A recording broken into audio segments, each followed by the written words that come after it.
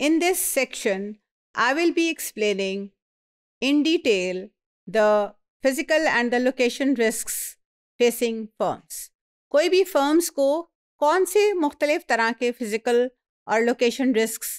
Face करने पड़ते हैं? So I am going to deliberate on that so जो फ़िज़िकल रिस्क है उसमें सबसे पहला रिस्क है बिल्डिंग रिस्क बिल्डिंग रिस्क का क्या मतलब है? कि जिस बिल्डिंग के अंदर जिस फ़िज़िकल स्ट्रक्चर के अंदर आप अपनी बिज़नेस को एग्जीक्यूट कर रहे हैं उस बिल्डिंग के अंदर कोई मसाइल आ सकते हैं सच एज वहाँ फायर हो सकती है फायर आग लग सकती है वहाँ कोई और मस, मसला हो सकता है कोई दीवार गिर गई या कोई फ़िज़िकल डैमेज हो गया तो उस पर्टिकुलर चीज़ के नुकसान को कम अज़ कम करने के लिए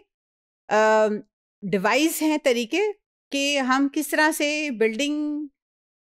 की वजह से जो रिस्क आ रही है, उसको किस तरह से उसके इफ़ेक्ट को उसके नुकसान को कम अज़ कम कर सकते हैं। उसके लिए अभी प्रपोज्ड है कि आप फायर अलार्म्स लगाएँ अपनी बिल्डिंग के अंदर ज़रूरी है कि जैसे ही वहाँ स्मोक डिटेक्टर्स लगे होते हैं कि फायर लगा फायर आग लग गई कहीं तो स्मोक उसका निकलेगा तो स्मोक डिटेक्टर ने फ़ौरन सायरन बचा देता है ताकि तमाम लोगों को जिन्होंने नहीं भी देखा कि आग लग गया है वो सायरन की आवाज़ से फायर अलार्म की आवाज़ से वो फ़ौरन एक सर्टन एग्ज़िट पॉइंट के थ्रू एक असेंबली का पॉइंट बना होता है जहाँ इकट्ठा हो जाते हैं ताकि आग लग लग जाने की सूरत में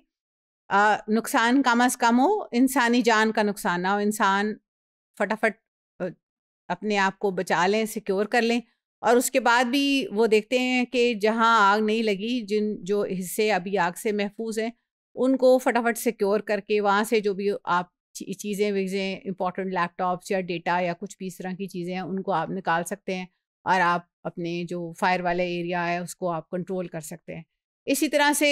इमरजेंसी नंबर्स को ऐसी जगहों पे आवेज़ा किया जाता है, नुमाया जगह पे ताकि इन केस ऑफ़ इमरजेंसी कोई टेररिस्ट घुस जाएँ या कुछ भी तो आप इमीडिएटली जो सपोर्ट है, जो हेल्पिंग स्टाफ होता है, पुलिस है, फायर ब्रिगेड है, उनको आप, उनकी मदद फ़ौर आप हासिल कर लें।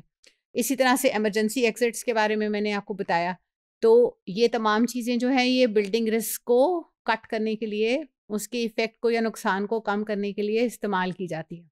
इसी तरह से बिजनेसेस में दे मेक इट श्योर के शीशे का दरवाज़ा हो या दरवाजे में कुछ हिस्सा शीशे का लगाओ कि अगर अंदर कोई एम्प्लॉई सफोकेट हो गया या उसका सांस बंद हो गया या बीमार होके, बेहोश होके गिर गया तो आते जाते हुए लोगों को पता चल जाए कि वो इमीडिएटली उसको उसको कोई हेल्प दे सके similarly there is another type of physical risk that is called hazardous material risk. और hazardous material risk का मतलब है कि उनके अक्सर जब हम businesses की बात करें तो फैक्ट्रियों में, कारखानों में मैन्युफैक्चरिंग प्लांट्स में, मुख्तलिफ़ तरह की केमिकल्स का इस्तेमाल किया जाता है तो वहाँ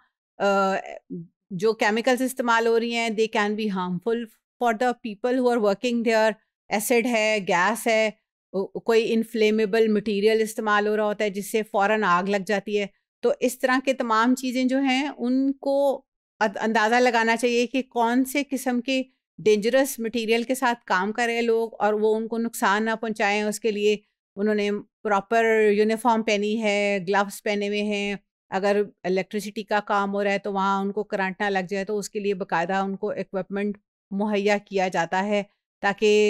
नुकसान ना हो। Similarly we have got the location risk तो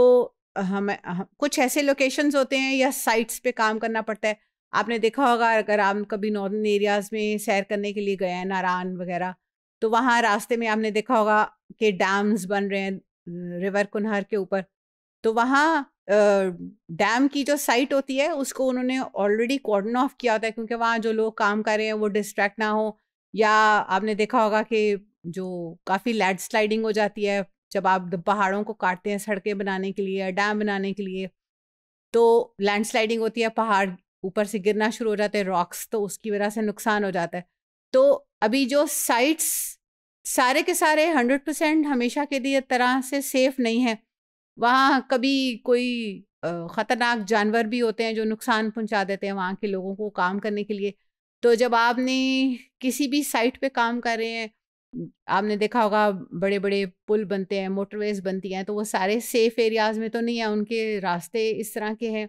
या जो बड़े बड़े प्लांट्स हैं, वो हमेशा बहुत सिक्योर एरियाज़ में तो डिवाइस नहीं हुए होते, नहीं बनाए जाते। तो उस पर्टिकुलर लोकेशन की वजह से there could be a number of risk that are to be assessed और फिर उन, उनसे नुकसान ना हो। रिसोर्स को मशीनरी को इक्विपमेंट को, इंसानों को जो वहाँ काम करें।